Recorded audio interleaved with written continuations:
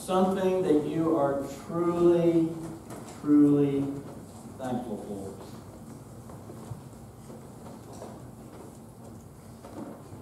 And we're going to pause for a moment in our prayer, and I want you to focus on whatever that is. Maybe the first thing, maybe it was the first thing that came to your mind. Maybe it's something recent, or maybe it's been some time. Something you are truly, truly thankful for.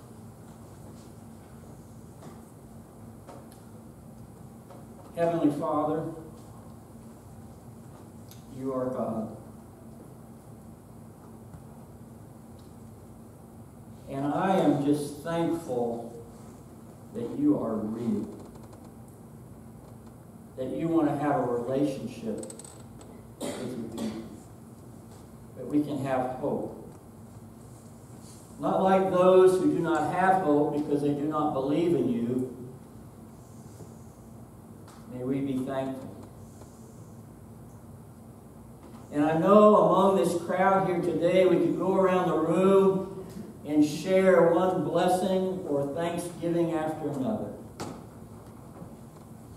How you have worked in our lives, how you have blessed our lives, both here and for eternity.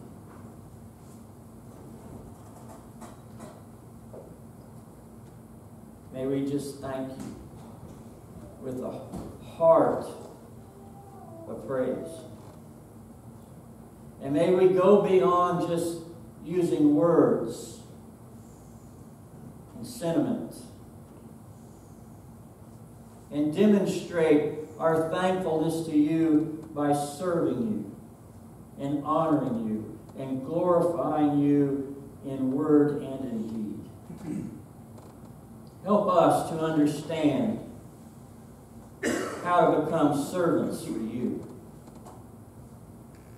and to live a life of thanksgiving, glorifying and honoring you by everything we do.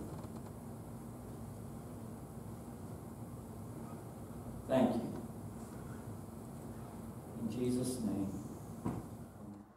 Unfortunately, this world isn't always a fair place, and sometimes you need a lawyer. For instance, have you ever been in a situation where you've seen a need and felt compelled to help? Or worse yet, have you ever done a good deed and not been fairly compensated? If the answer is yes to any of these questions, don't hesitate in calling me, Dirk Hardcastle. I'm a lawyer. My office specializes in cases where people have loved other people and have been inconvenienced. My solution? Take them to court. Have you ever been nice to someone you didn't feel like being nice to? Not on my watch. Take them to court. Have you ever had to listen to someone share their hopes, dreams, and fears? Cha-ching! Take them to court. There are a lot of people out there who give money to groups and organizations and individuals they care deeply about. But if they would have called me, I would have got all their money back tenfold. Cold, hard. I didn't go to eight weeks of online law school so that you would have to love selflessly. My name's Dirk Hardcastle, and if you have to turn the other cheek, you better get paid. We'll consider a different idea of service today. And uh, I've already told John they don't get to borrow that for his law firm. Turn with me to the book of Acts, chapter 6. This month we're going to be looking at Christian men on the go. And there's one in particular I'd like to focus on today. His name is Philip. And we sort of have an introduction to him here in Acts chapter 6. Acts chapter 6, verses 1 through 7. Now, in these days, when the disciples were increasing in number, a complaint by the Hellenists arose against the Hebrews because their widows were being neglected in the daily distribution. And the twelve summoned the full number of the disciples and said, It is not right that we should give up preaching the word of God to serve tables. Therefore, brothers, pick out from among you seven men of good repute, full of the Spirit and of wisdom, whom we will appoint to this duty. but we will devote ourselves to prayer and to the ministry of the word. And what they said pleased the whole gathering. And they chose Stephen, a man full of faith and of the Holy Spirit, and Philip, and Prochorus, and Nicanor, and Timon, and Parmenas, and Nicholas, a proselyte of Antioch. These they set before the apostles, and they prayed and laid their hands on them. And the word of God continued to increase, and the number of the disciples multiplied greatly in Jerusalem. And a great many of the priests became obedient to the faith. There was much to do in the work of the church. A lot was going on. The apostles were preaching and teaching. And in these earliest days of the church, these earliest days, these earliest weeks and months, the church grew. It says it multiplied, not just added, but multiplied. And as it grew, there are more and more people becoming part of the body of Christ, which meant there were going to be more and more needs that might need to be met. And an issue arose in the church, an issue which could have been very divisive about the distribution of food or resources uh, to, to various widows in the church. And just as a quick side note, I'd just like to say that very early in the life of the church, we see the church being very concerned for widows.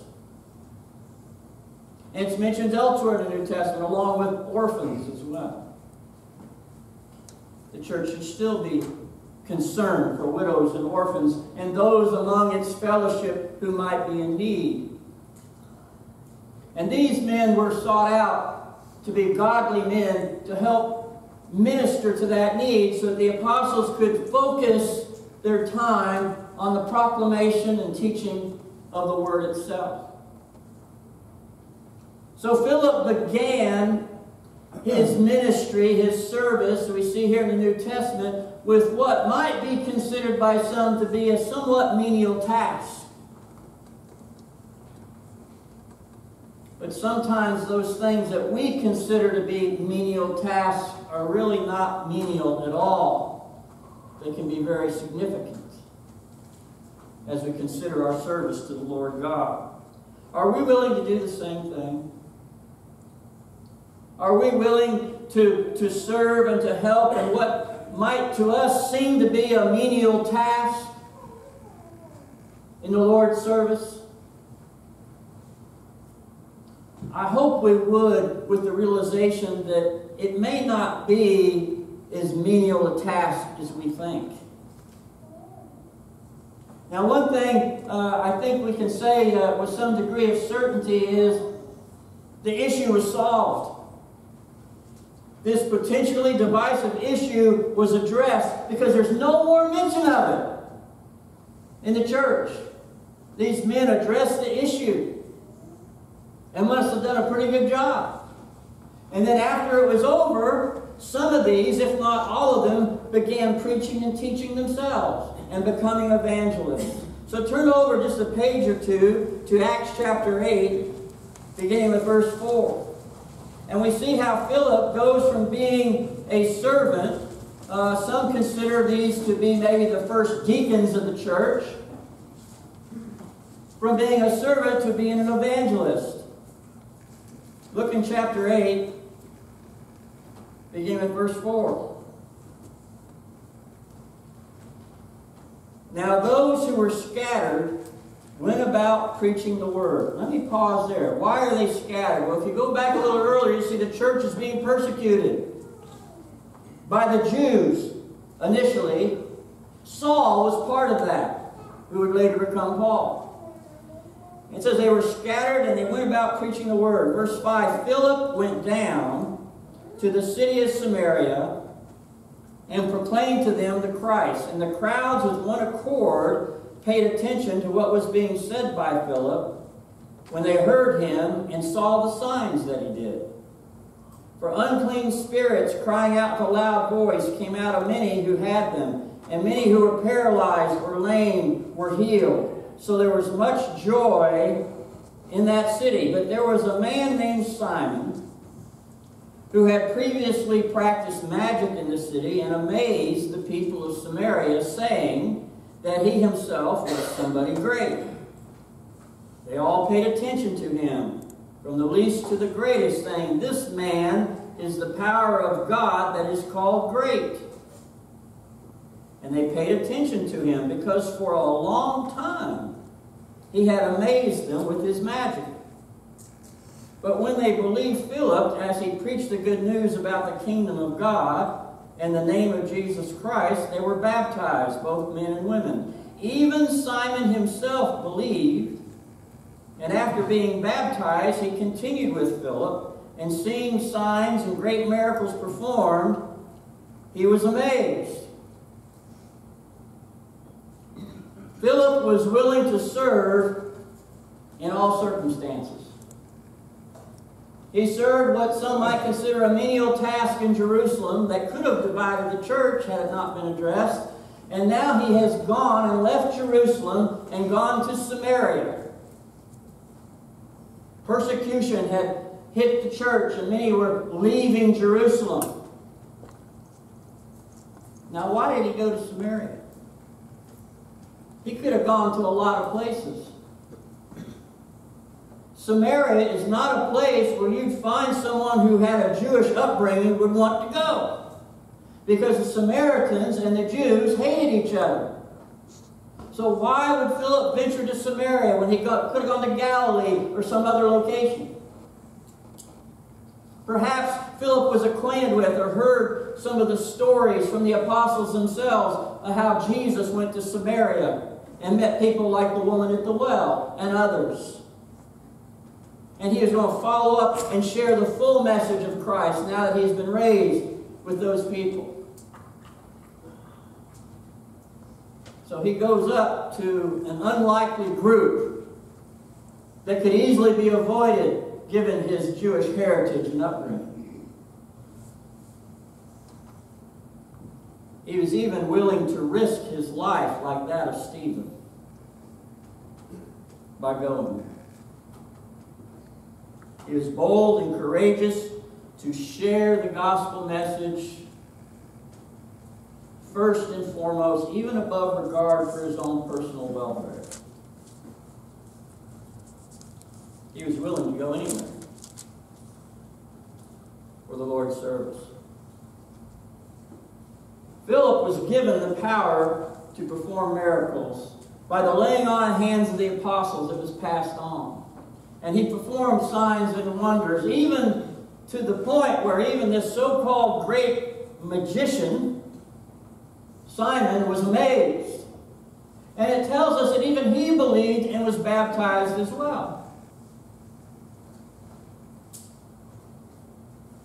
Now, we might not be able to go forth today and perform mind-blowing miracles like the apostles and those that laid their hands on did.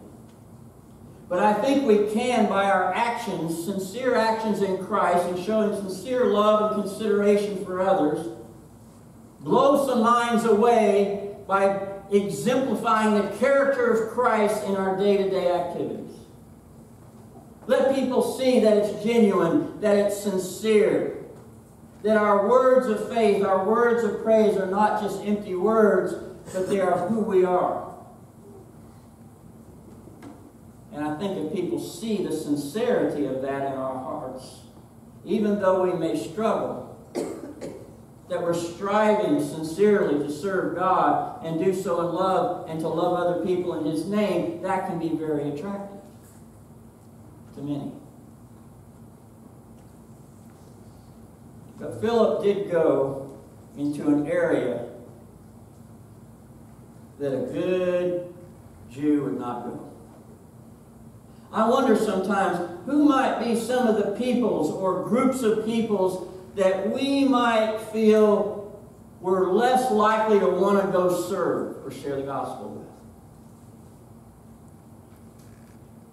And maybe ask ourselves, why is that?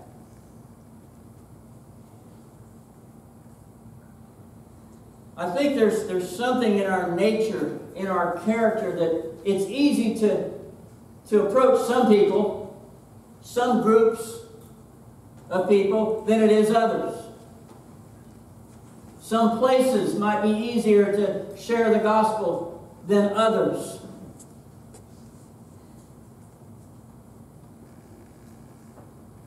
What's that place for you? What's that place for you? Maybe that's the place God wants you to go.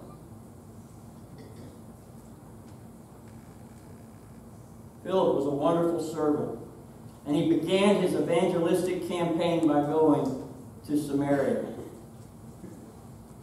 But it wasn't just the miracles and his convincing words that won the day, although we need the truth of the gospel. I think it was something of who he was and his character. The fact that he was even there said something.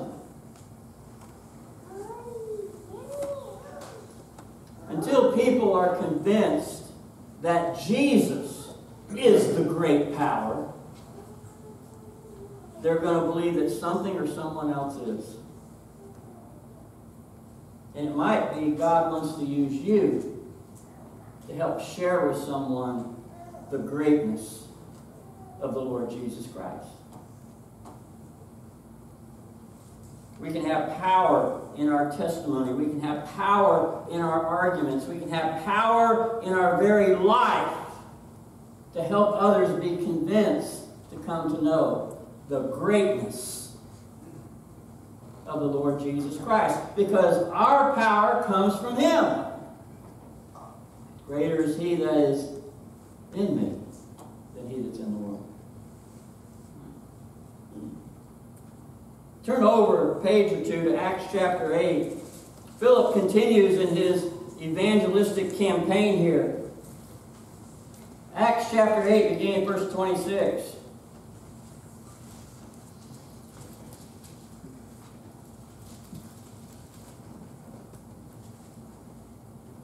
Now an angel of the Lord said to Philip, Rise and go toward the south to the road that goes from Jerusalem to Gaza. This is a desert place. And he rose and went. And there was an Ethiopian, a eunuch, a court official of Candace, queen of the Ethiopians, who was in charge of all her treasure. He had come to Jerusalem to worship and was returning, seated in his chariot, and he was reading the prophet Isaiah. And the Spirit said to Philip, Go over and join this chariot. So Philip ran to him and heard him reading Isaiah the prophet and asked, do you understand what you're reading? And he said, How can I unless someone guides me? And he invited Philip to come up and sit with him. Now, the passage of Scripture that he was reading was this Like a sheep, he was led to the slaughter, and like a lamb before its shearer is silent, so he opens not his mouth. In his humiliation, justice was denied him. Who can describe his generation? For his life is taken away from the earth. And the eunuch said to Philip, About whom, I ask you, does the prophet say this? About himself or about someone else? Then Philip opened his mouth, and beginning with this scripture, he told him the good news about Jesus. And as they were going along the road, they came to some water, and the eunuch said, See, here's water. What prevents me from being baptized? And he commanded the chariot to stop, and they both went down into the water, Philip and the eunuch, and he baptized him. And when he came up out of the water, the Spirit of the Lord carried Philip away, and the eunuch saw him no more, and went on his way rejoicing. But Philip found himself at Azotus, and as he passed through, he preached the gospel to all the towns until he came to Caesarea. God instructs Philip to leave Samaria. He's got a thriving ministry going on in Samaria. Many are coming to believe in the Lord, are being baptized, accepting the message of God. And he's told to leave a thriving ministry. To head back in the direction of Jerusalem, because the road from Jerusalem to Gaza is actually south-southwest of Jerusalem. So now he's got to go back to the very vicinity and area where all the persecution's taking place.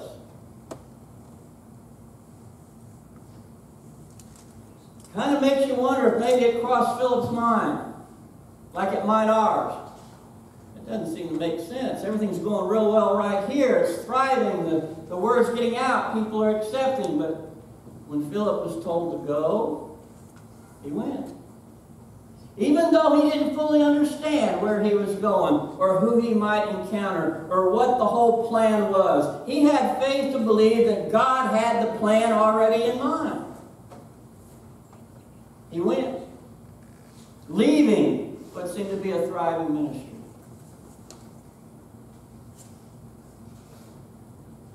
I think we need to be like that sometimes too. As God leads us, we may not have a full understanding of what He has in mind for the location He's sending us. But if He says go, will we go? We, we like to plan things out and try to have everything in mind and step-by-step plan and so forth. And to some degree that's okay as long as we're asking God's blessing upon it and He's in it. But sometimes we don't see the whole picture. And if God says, go, go, go in faith that God has the greater picture in mind and He'll use you by showing forth your faithfulness.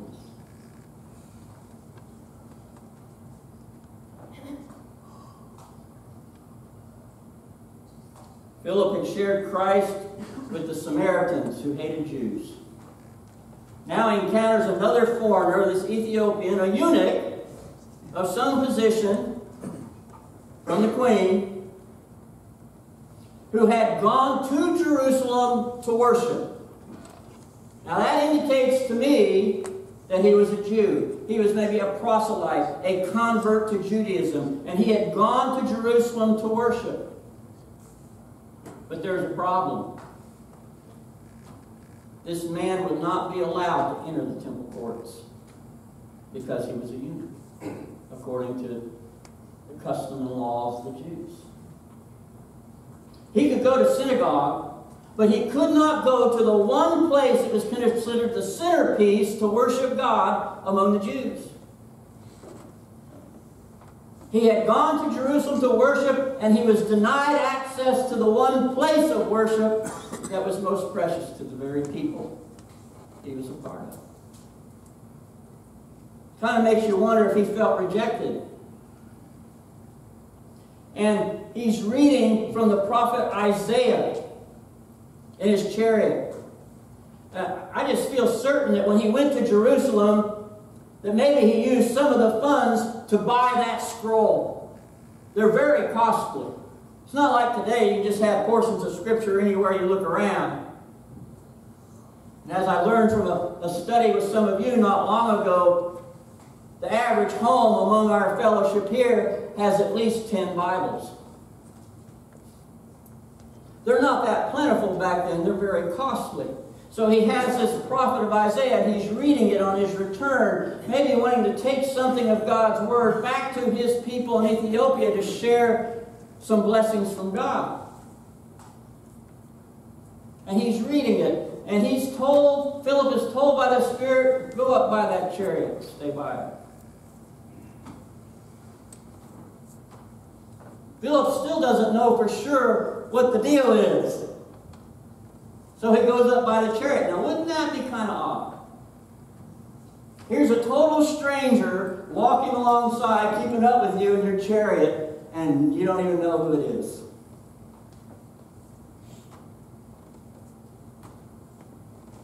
A total stranger came up along your side and just kept pace with you, wouldn't you consider that kind of an awkward situation? What's this person doing? You make a turn, they turn. You ever had that feeling someone was shadowing you? Kind of an awkward, unusual situation. Philip probably still wondering what's going on. Have you ever been in a situation like that where maybe in serving God you felt like you were in an awkward, unusual situation? God's got you there for a reason, but maybe you're not sure what it is yet. But you go until it's revealed to you. And the man was reading from Isaiah, and we read the text that he was reading from, and I think at that point, Philip knew why he was there. When he heard the man reading from Isaiah, a prophecy about the Messiah. And from that text, he shared Jesus with him. From that text, and perhaps others, but starting with that text, and then this man sees water and wants to be baptized. You see, the Old Testament, too, has the power of salvation for people. This man was brought to know the Lord Jesus Christ through the Old Testament scriptures. Can be particularly useful for those with a Jewish background or heritage.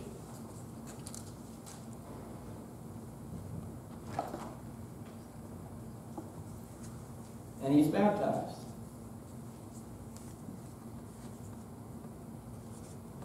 Philip asked a question. When he heard him reading from Isaiah, he asked a simple question. Do you understand what you're reading?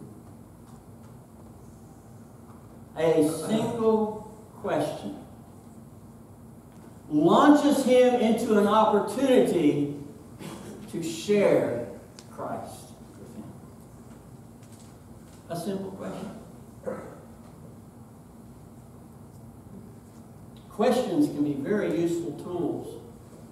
Questions help us understand where are they in their understanding? Where are they spiritually so that I can help them take the next step? Can you simply ask a question of someone? Do you understand what you're reading? And even if you're not entirely sure yourself, you can say, you know, let's, let's investigate this together and find the answer. Help someone to understand, and you may see your own understanding grow and mature as well in the process.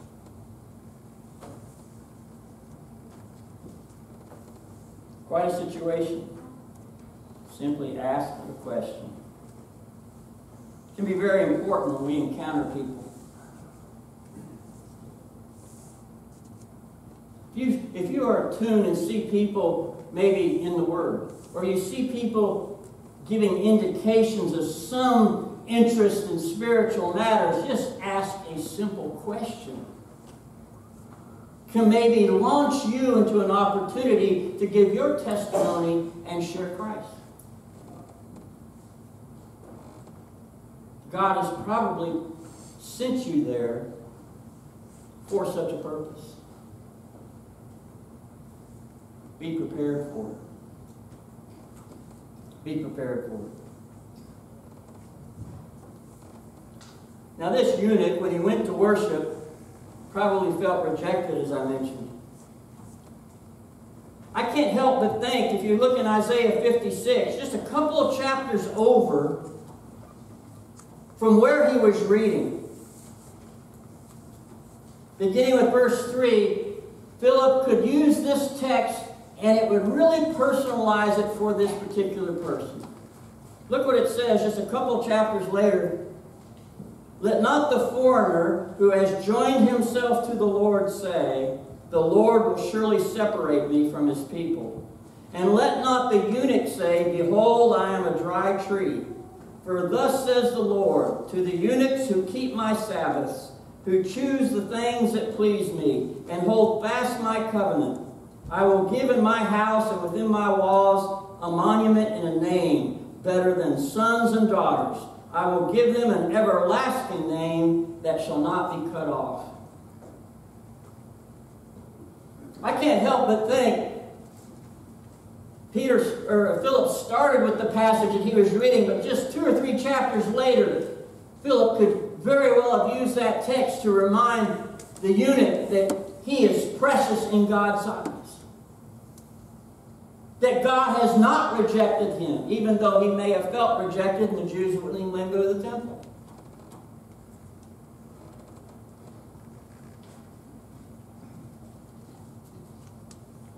he was convinced. And they stopped. He was baptized, and he went on his way rejoicing. Now, I can't speak for you, but I know every time I've witnessed a baptism, it's a celebration time. Isn't that a time of rejoicing? Amen. Isn't that a wonderful time of rejoicing? I get goosebumps just thinking about it. And when I witness it, I get I get that I don't know what I don't even know what you call the feeling. The warm fuzzies, the goosebumps, the shivers, the excitement. And sometimes I'm reminded of the day that I accepted the Lord and was covered in the blood. I get excited. It's a time of celebration. He went on his way rejoicing. And I think Philip did too. And the Lord wasn't done with him and sent him to other locations to minister. We need to keep in step with the Spirit. Philip was moved by the Spirit. He was prompted by the Spirit. He was led by the Spirit. And if we keep in step with the Spirit, it won't matter what we're called to do because we're with Him in it, even if we don't fully understand what it is at the outset. I want you to watch this video.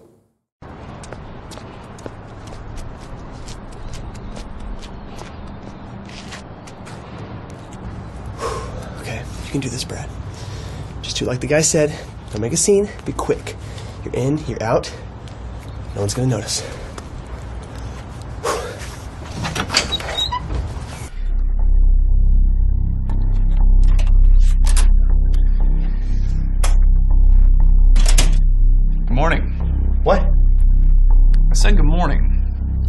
Okay, sir?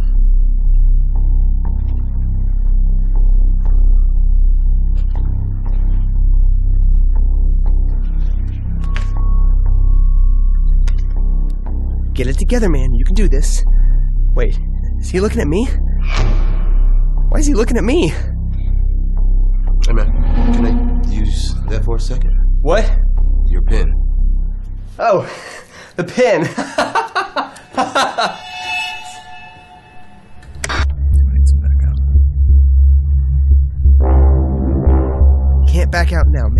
do it.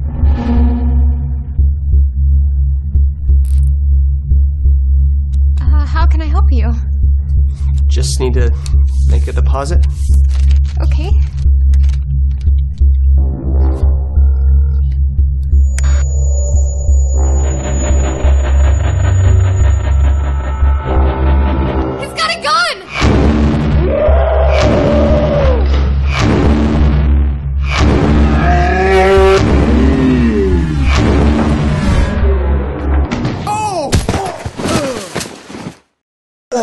You're making a mistake. I'm unarmed. Sir, I'm gonna have to ask you to quiet down. No, no, it was just an invitation to church. Calm down, sir. I will tase We're you. having a potluck. We're having a potluck. Inviting someone to church doesn't have to be like robbing a bank. Just ask.